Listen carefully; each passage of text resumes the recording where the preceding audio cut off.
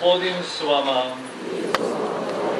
Vjeruju gospodina i on će ti pomoći, kroči pravom stazom, uzdaj se u njega, boj ga se u njem dočekaj stare dane. Poštovanoj i ožalošenoj obitelji, najbližoj rodbini, rođacima, prijateljima, našeg dragog pokojnika, pokojnog Rudolfa, u ime i našeg kapelana Marka i svoje osobno ime kao župnik izgražavam iskrenu kršćansku suću. Pomolimo se, prikloni gospodine uho svoje našim molitvama. Smjerno molimo Tvoje milosrđe, Ti si duši sluge svoga Rudolfa zapovjedio preselce svoga svijeta, uvedi ga u prostranstva svjetlosti i mira, pozovi ga u društvo svojih svetih. Po Kristu gospodinu našemu. Pomolimo se, Oče milosrđe i Bože svake utjehe. Pratiš nas vječnom ljubavlju, a sjenu smrti obraćaš u zoru života, pogledaj svoje sluge što su u žalosti, budim gospodine utočište i jakost, da se iz mraka ove boli i tuge vinimo i mir i svjetlo Tvoje nazočnosti. Sin Tvoj naš gospodin svojom je smrću uništio našu smrt, a uskrsnućem obnovio naš život, podaj molimo da k njemu tako grlimo, te se poslije trke smrtloga života pridružimo svojoj braći ondje, gdje soka nestaje svake suze. Po Kristu gospodinu našemu. Kako je otac nježan prema djeci, tako i gospodin nježan prema onima što ga se boje i dobro zna kako smo sazdani, spominje se da smo prašina. Dani su čovjekovi kao sijen od svate pocijetak, na njivi jedva ga dotakne vjetar i već ga nema, ne pamti ga više ni mjesto njegovo.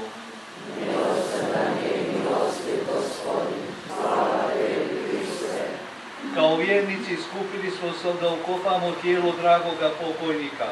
Spoznanji se pomolimo Bogu kojemu sve živi, da tijelo njegovo što ga rasvadljiva ukopava uskrise rasvadljivo zblaženi, a dušu mu pridruži broju svojih svetih i vjeri. Milosrdan mu bio na sudi, od smrti otkupljen, dugova oslobođen, s ocem izmiren i na ramenima dobroga pastira, neka zasluži ući u pratnju vječnog kralja i uživati radost i društvo sveti. Po Kristu, gospodinu našemu. Poštovana i ožalošena obitelji, poštovani i cijeni, štovani građani, braćo i sestre, još iz gimnazijskih dana, dok sam bio u gimnaziji u Dubrovniku, kada nam je profesor hrvatskog jezika govorio o Ivanu Bundoviću, jednom od najvećih hrvatskih pjesnika, i kada smo radili njegova pjevanja i sve ono što je on napisao, onda su mi se posebno, tada već davno u tim godinama, usjekle u srcu i u dušu riječi koje smo morali znati na pamet odgovarati iz njegovih dijela, gdje on kaže na jednom mjestu što je ljudski život, drugo ne smućeno jedno more, nek plavi jedan koji bio dugovali kako gore i se dovijek neto mina, čovjek se rodi, vrijet počina. Tada smo bili još mladi i nismo shvatili duboku misao ovih riječi našega, možemo reći sigurno među najvećim pjesnicima, koji govori o smislu života čovjekova, o smislu čovjekova životoga puta, o tome odakle smo, kamo idemo i zašto smo na ovom svijetu. Dobro znamo, svi imamo svoje početke, znamo dobro da jednoga dana upisano naše ime kada smo bili rođeni u mnoge knjige, onda je krenio životni put svakoga od nas, životni koraci svakoga čovjeka ili ono što se zove riječnikom što ljudi vole reći, krenula je naša životna sudbina. I zato čovjek sam mora riješiti svoje životno pitanje, vjeruje li u vječnost i u život vječni, a u život vječni i u vječnost vjerovao je naš dragi pokojnik, pokojni Rudolf, za kojeg čvrsto vjerujem da se nalazi u beskrajnim postrastvima svjetlosti mira, kaže knjiga života Biblija, tamo gdje više neće biti ni smrti, ni boli, ni jauka, kaže sveto pismo, jer prijašnje umiru.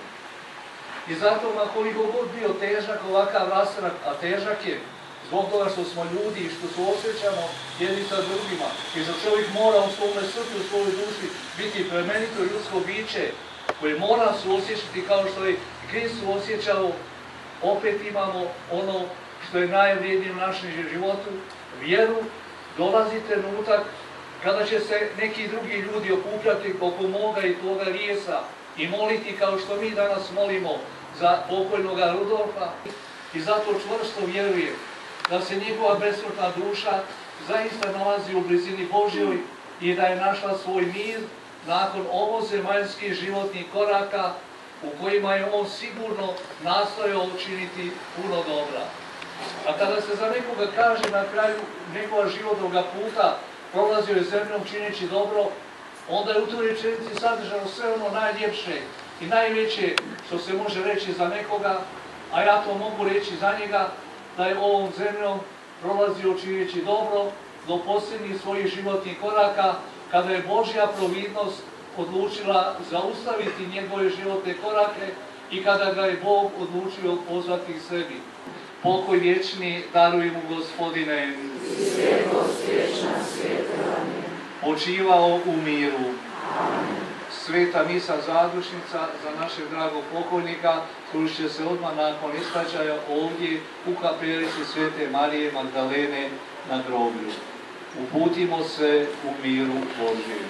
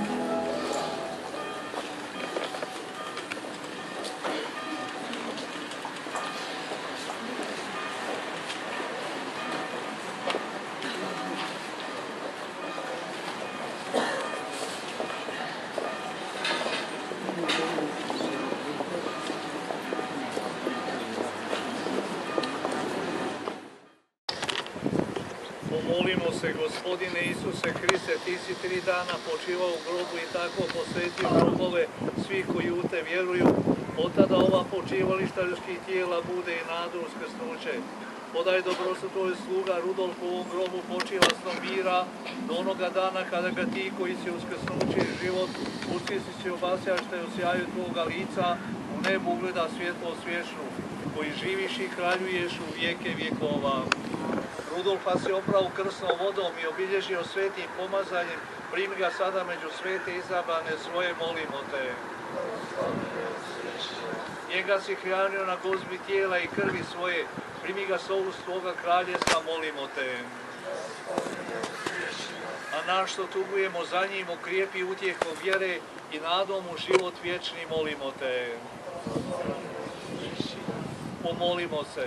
Iskaži, molimo, gospodine Bože, ovo prirodno svojom slugi Rudolfu milosrđe, jer je želio vršiti Tvoju volju.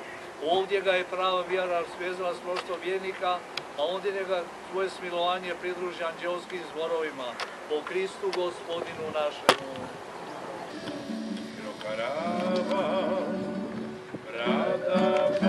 Papanonija, kad zapjevam